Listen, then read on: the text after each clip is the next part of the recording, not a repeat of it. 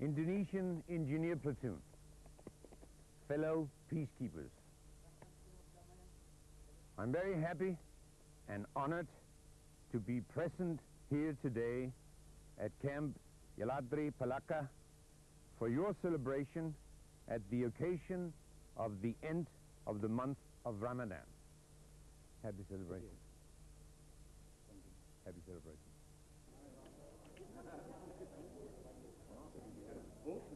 Som en god bodyguard burde jeg insistere på, at jeg smager maden først, før generalen. Men, øh, jeg er ikke sikker på, at det giver ret mange stilpoint, hvis jeg møder en foran i køen. Hvis en festdeltager pludselig af den ene eller den anden grund gør udfald mod ham, så skal jeg selvfølgelig kunne passe på ham. Men der er også en anden del i opgaven, og det er i virkeligheden, at det er jo ikke, det er altså ikke kun at, at skyde vildt om sig og, og passe på. Det er jo lige så meget, hvis generalen falder ned af trappen, eller han får et kyllingeben galt i halsen, eller hvad ved jeg, så skal jeg, om ikke andre, være den, der, der tager sig af at give livreddende førstehjælp som minimum.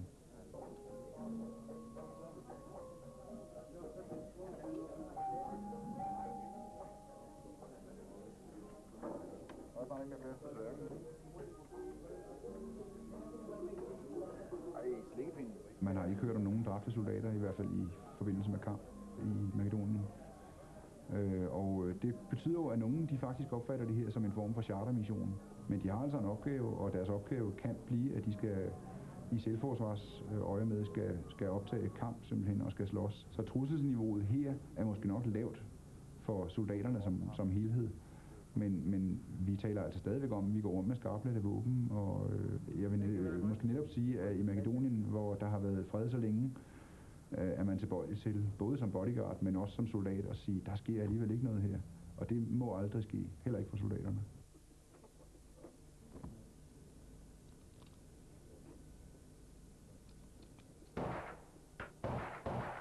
I Makedonien har man haft tilfælde på decideret attentatforsøg. Det var på landets præsident, Kio Gligorov, som er præsident for Makedonien og blev forsøgt myrdet i 95. Man havde simpelthen placeret en bilbombe på den kørselsrute, han kørte igennem byen på, og den sprængte man så fjernstyret i det, han kørte forbi. Det betyder selvfølgelig, at øh, man som bodyguard tænker på, at det kan altså ske her, og øh, jeg tænker specielt på det, når jeg kører igennem netop den gade, hvor det skete med, med præsident Gligorov, at øh, her skete der rent faktisk noget, og det kunne principielt risikere at ske igen. Men indimellem er det altså nødvendigt, at man kører hurtigt for at komme væk fra en eller anden situation, som måske slet ikke er farlig, men som man skønner kan risikere at udvikle sig til noget. Det gør jeg tit selv.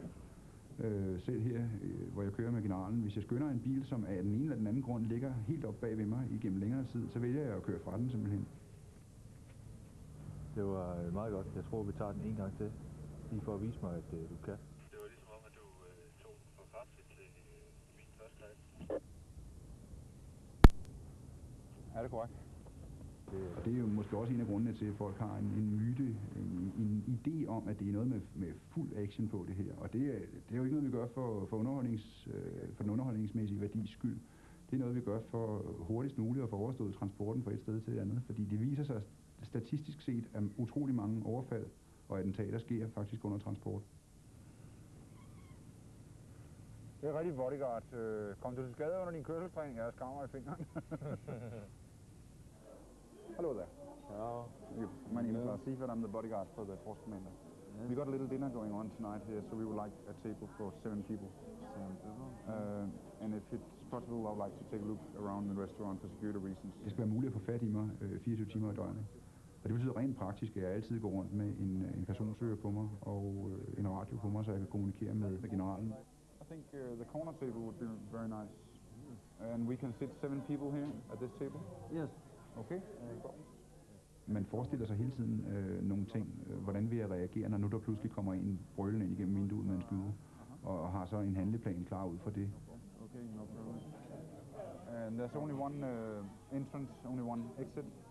Only the, this door. And in the kitchen there's another. kitchen, yes. Uh-huh, Okay. And there's a door out from the kitchen. Yes. Okay. Okay, so we will come back at seven o'clock. Thank you Thank you very much. Yeah. Bye-bye. Have a nice time. Thank you. Bye.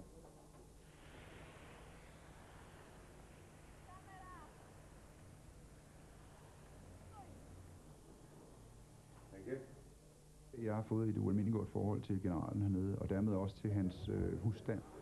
Og det har betydet, at jeg har fået en, øh, en utrolig god kontakt til, til også dem, der er hans omgangskreds, så at sige. Jeg har mødt en masse øh, spændende mennesker, som jeg har haft meget fornøjelse af, som, vi har, som jeg betragter som mine egne venner nu. Og øh, har deltaget i familiefester i generalens øh, privatliv. Øh, fordi jeg føler mig i virkeligheden som en, som en ven af familien, mere end som en bodyguard, når jeg er der i den sammenhæng. Jeg skal lige kigge herover. Der kan jeg da i hvert fald få købt nogle kartofler. Ja, det kan du i hvert fald. Hvorvidt man er gode venner øh, privat, så at sige, øh, det gør i virkeligheden bare øh, din, dit engagement stærkere, forstået på den måde, at, øh, at det lyder måske lidt voldsomt at sige, at jeg passer på min general på samme måde, som jeg vil passe på et af mine egne familiemedlemmer, men, men, men det, gør, det er faktisk det, det drejer sig om her. Hvad betalte du for dem?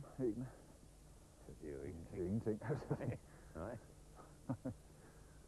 Nej, det er ikke 30 æg derhjemme. Det er sgu en bundgård efterhånden. Der er den der våbenforretning. Kan du huske det, jeg fortalte om? Jeg var inde og kigge på i Belgrad på et ja, tidspunkt. Sniper hed den. Ja. De har åbenbart valgt at bruge Pamela Andersen som, som blikfang. Den hed Nå, men det Sniper, hun- og det er en... Øh, Det er hun vel også god til. det må man sige. Det Ja. er der jo visse muligheder i, ja. Hende var der mange, der kunne blive skudt i. ja.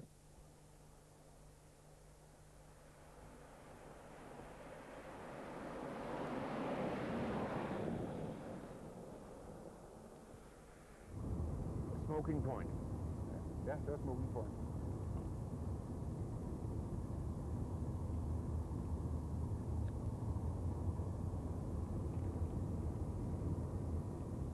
I hele området er der ekstremister, og øh, vi ved jo, at terrorister de bruger de midler, de nu synes er nødvendige. Så øh, det kan ikke udelukkes, at vi selv her i Makedonien kan have nogle faremomenter.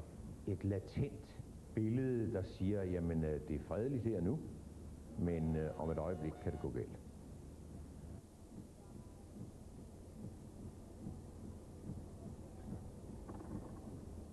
Der er det betryggende, at øh, Lars er den, der hele tiden tænker på de aspekter, og er den, som øh, vil fortælle mig, at nu synes han ikke, at situationen er, som den skal være, og øh, nu tager vi væk. Det gør vi så.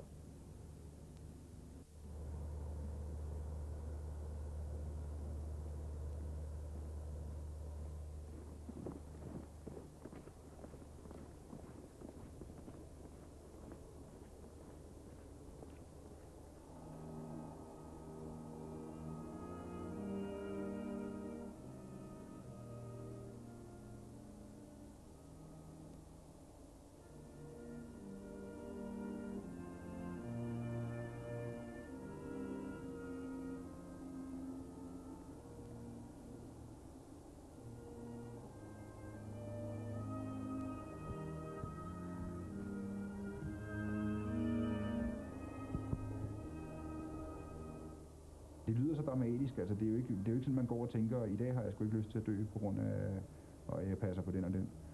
Øh, I mit tilfælde øh, tror jeg på, det er, jo, det er jo noget, man ikke kan forudsige, før man har prøvet at stå i det eksakte. Men, men jeg har en fornemmelse af, at hvis der blev åbnet ild mod generalen, og det var den eneste udvej, ja, så ville jeg stille mig i vejen, hvis det så i øvrigt kunne redde ham. Fordi i den her sammenhæng er han altså vigtigere, end jeg er som bodyguard, øh, og han skal væk. Og det, øh, i spøg siger vi lidt, øh, det ville være lidt pinligt, at det blev rapporteret i Danmark, at bodyguarden overlevede, men generalen døde. Øh, det skulle selvfølgelig ikke være det der argumentet for at passe sit arbejde, men, øh, men jeg ville have det skidt ved, at der skete noget med generalen, og der ikke var sket noget med mig, hvis jeg øvede kunne have forhindret det.